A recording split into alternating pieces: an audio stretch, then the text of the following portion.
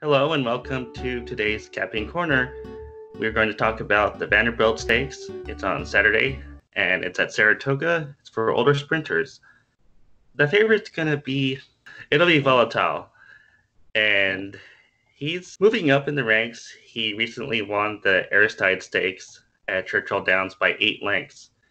And it wasn't just that he won by eight lengths, it was the way he did it. He stalked the pace.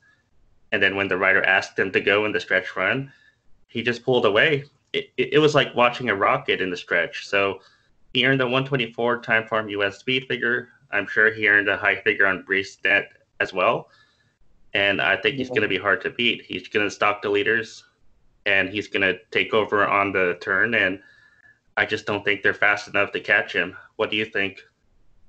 Yes, Volatile is one of the best sprinters today.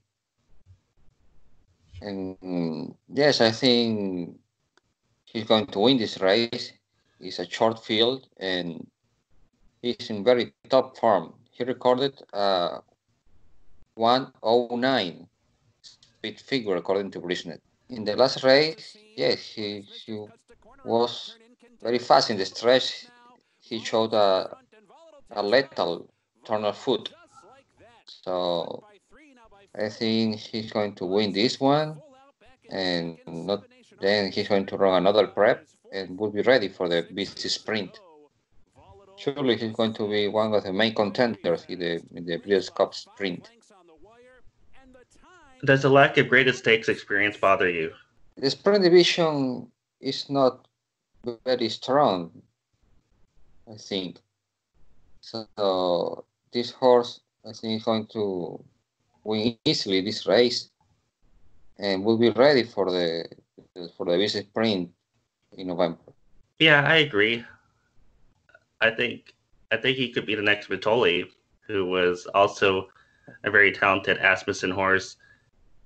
And I have nothing against Volatile except, well, in the stretch run, he took a while to switch leads, but I'm not gonna I'm not gonna knock him for that because he won by so many lengths. So I'm sure he's still learning and he could improve.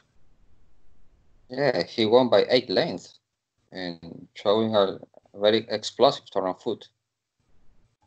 Let's talk about Firenze Fire. He has been with Kelly Breen for two starts now. Uh, he was fourth in the Carter, but he improved a little bit in the True North Stakes. He won that race by a length and a half over Stand the Man. I don't know if, if Stand the Man is that good, but uh, I guess it was an improvement. I don't think he's at the level he was under Servis. Uh, what do you think of Firenze Fire? I think he's back into his form. According to Brisnet, he recorded again a triple digits speed figure. Okay, in the Carter, he recorded a 96, and in the True North, it was 104. I think he's getting into his form and he's going to show some speed in this race. He showed speed last year in the in the Vanderbilt against Imperial Hint.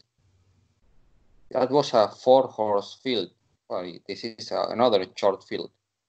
He tried hard, and then that race he uh, just lost by a nose.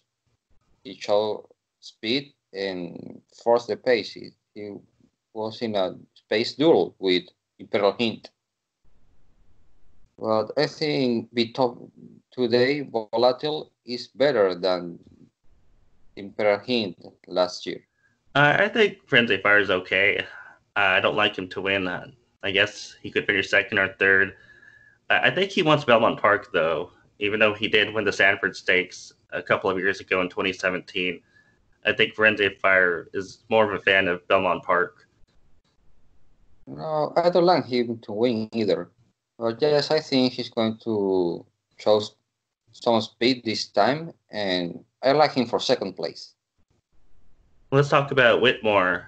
He's going to be either the second or third choice, probably the second choice.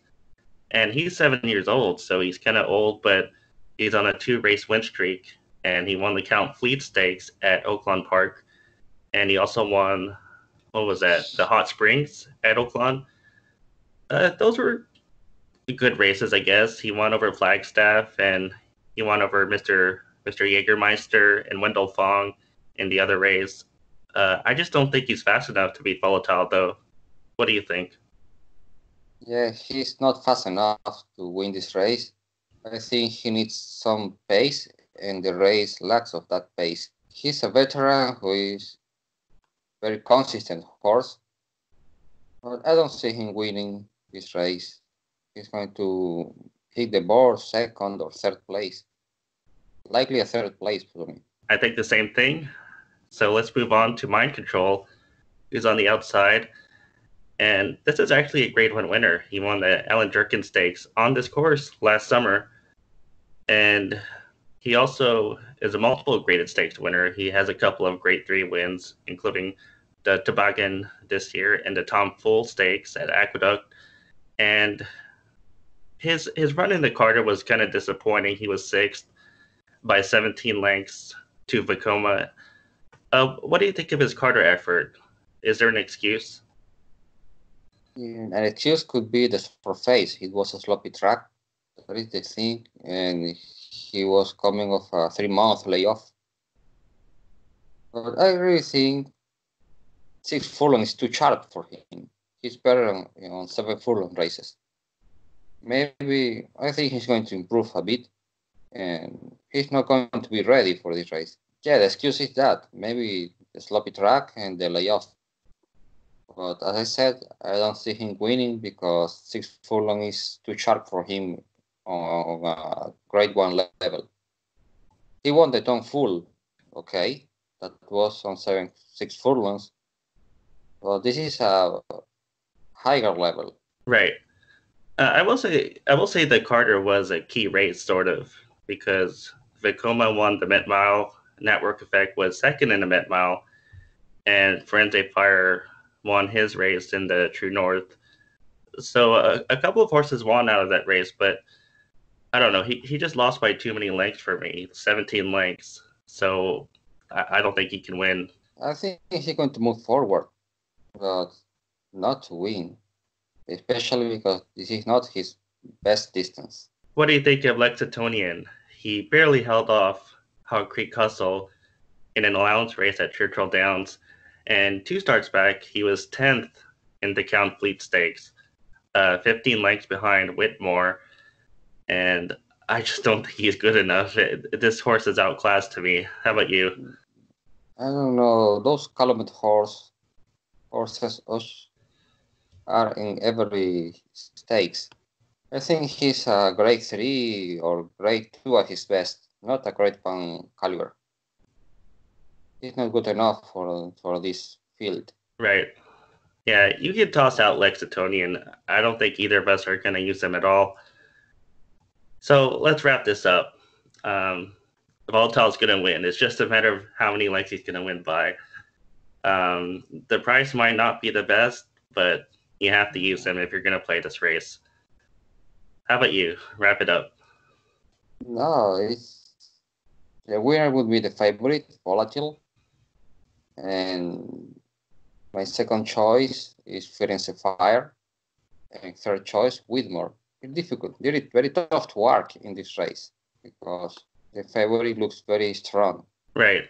I think you could use any horse underneath except for Lexingtonian. If you want to use Whitmore underneath, uh, you want to use Firenze Fire or Mind Control, either of them could finish second, but um, not Lexingtonian. He's not going to hit the board. Uh, my call, my Colt exacta is Volatile and Firenze Fire. I don't know how is he going to pay. I don't know six dollars. Maybe. Uh, I'll have to watch a tote board to see what's the right exacta to play. Um, we'll see. It'll be Volatile over one of them underneath. Um, I'll have to study it. Okay. Yes, well, it would be very tough to beat the favorite. So. Okay, that's our that's our show for today, and thanks for watching. Uh, be sure to donate to both of us if you win listening to yeah. our picks. Otherwise, have a good weekend and hope you hit some winners. Okay. Have a nice weekend.